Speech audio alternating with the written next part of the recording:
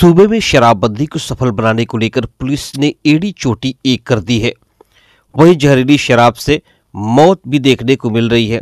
शराब के बाद चाहे कारण जो भी हो, शराब तस्करों के हौसले दिन प्रतिदिन बुलंद ही देखने को मिलते रहते हैं। जिसका ताज़ा उदाहरण ज़िले के महज दो दिनों के अंदर ही देखने को मिला, जहाँ पुलिस की लाख मुस्तैदी के दावों के बावजूद भी शराब तस्कर बेखौफ कंटेनर में भर भर के बेखौफ शराब की सप्लाई में लगे हुए हैं। यहाँ तक कि तहखाने बनाकर भी शराब तस्करी बड़े पैमाने पर हो रही है, जिसको पुलिस पकड़ भी रही है। फिर भी शराब आसानी से बिहार में होम डिलीवरी के माध्यम से आसानी से कैसे मिल जा रहे हैं? तस्करी का यह खेल कोई नई बात नहीं है।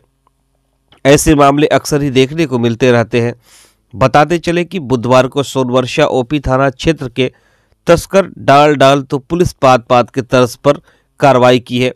पिकअप कंटेनर में निन्यानवे पेटी अंग्रेज़ी शराब, करीब 900 लीटर के साथ दो तस्करों को धर दबोचा। तो वही आज कृष्णापुरम को अंसारी महादलित बस्ती नहर मार्ग पर मुरार थाना की पुलिस गुप्त सूचना के आधार पर पिकअप के तहखाने में छिपाकर ले जा रही शराब एवं ड्राइवर समेत दो तस्करों को गिरफ़्तार किया है।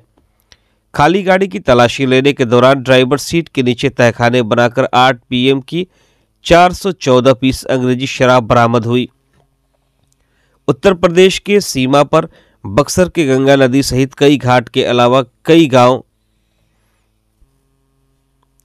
यूपी के सीमावर्ती जिला है, जिसको लेकर शराब तस्करों को रोकना पुलिस के लिए बड़ी चुनौती है। एक तरफ़ बिहार में जहाँ शराबबंदी है तो यूपी में शराब धड़ल्ले से बिक रही है। बॉर्डर इलाका होने के कारण शराबी और शराब तस्कर दोनों ही इसका फ़ायदा उठाते हैं। गंगा नदी के विभिन्न घाटों से तस्कर, इन रास्तों से तस्करी के लिए अपना सेफ़ ज़ोर बनाकर बड़ी ही आसानी से शराब तस्करी को अंजाम देते हैं। ऐसे में शराब तस्करी पर लगाम लगाना बक्सर पुलिस के लिए किसी चुनौती से कम नहीं है। बक्सर पुलिस भी तस्करों के मंसूबे को नाकाम करते हुए कार्रवाई भी कर रही है। सिटी न्यूज़ बक्सर से संजय उपाध्याय की रिपोर्ट। इसमें वही जो है कि जो पुराने हम लोग ने जो था हम लोगों का टारगेट कि हर हालत में जो मद्य निषेध कानून है उसको पालन कराना है हम लोगों का। तो ऐसा कोई नई रणनीति नहीं है उसमें हम लोग काम कर रहे हैं। पहले भी हम लोग को सफलता मिली है अभी भी जो है आपको मुरार में देख रहे हैं सोनवर्षा में है। वहाँ पे हम लोगों ने अच्छे खेप पकड़े हैं। सोनवर्षा में करीब आठ सौ लीटर के आसपास पकड़ा गया है और आपको मुरार में पचहत्तर से अस्सी लीटर के आसपास शराब बरामद हुए हैं। उसमें आगे कार्रवाई हम लोग कर रहे हैं। सर एक और मामला है। शराब बंद है बिहार में। पता था? है?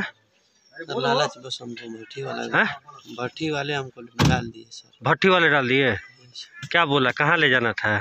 बोले कि तुम लेकर वहाँ से अब वो नंबर पर दे दिए बोले कि ले जाकर वहाँ पर दे दे तो यूपी यूपी को कैसे क्रॉस कर गए? वहाँ पर कोई चेकिंग नहीं हुआ बॉर्डर हम नहीं तो वही लोग दिए थे गोलम्बर गोलम्बर पे लाके दिए? अब वहाँ से क्या बोले कि अब आप लेके जाइए? हम जहाँ जहाँ बता रहे हैं वैसे वैसे जाइए। तो ये बताया गया था ना कि इसमें शराब है? ना ये बताओ पहले पहले पर नहीं बताया। अच्छा इसके पहले भी आप जेल जा चुके हैं? आप जी? हैं?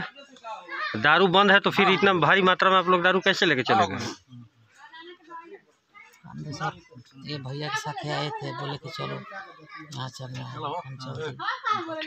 हम देखिए शराब पीना तो ऐसे भी शराब नशा जीवन के लिए जहर ही है। इसी के चलते मुख्यमंत्री जी ने ऐसा डिसीज़न लिया। वैसे शराब बंदी का जो मामला है वो शराब मैं आप लोगों से स्पष्ट शब्दों में कहना चाहता हूँ अलग अलग तरह के माफिया हुआ करते थे। बिहार में पंद्रह वर्ष पूर्व अलग अलग तरह के माफिया हुआ करते थे, लेकिन एक शराबबंदी के बाद एक अलग नाम आ गया है, शराब माफिया का। इस धंधे में लोग लिप्त हैं और छोटे छोटे बच्चे, जो 20 साल 22 साल 24 साल 25 साल के लड़के इस धंधे में लिप्त हैं और उसको करने करवाने वाले लोग जो हैं, वो भी उसमें शामिल हैं। कहीं ना कहीं से या तो अधिकारी हो या सफ़ेद पोष लोग हो या राजनेता हो जो भी हो जिनका भी इस काम में गलत कार्यों में संरक्षण है वो भी इसके दोषी हैं और उसके भागी हैं। आपका? सुशील कुमार राय प्रदेश प्रवक्ता किसान मोर्चा बिहार भाजपा।